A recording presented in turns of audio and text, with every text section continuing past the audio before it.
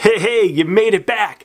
I wonder if you're interested in those big announcements that I was planning on dropping. Well, I might have one for you today. What do you say we get into it?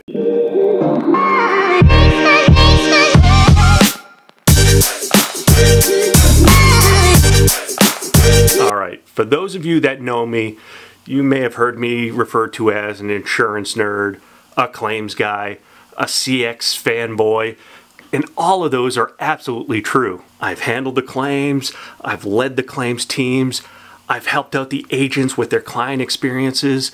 I've spoken at different conferences and webinars and been all over the country talking about different ways that we can help out those client experiences. Heck, I've even talked about how we can better improve relationships between uh, the claims folks and the agency side, coming from the agent's perspective.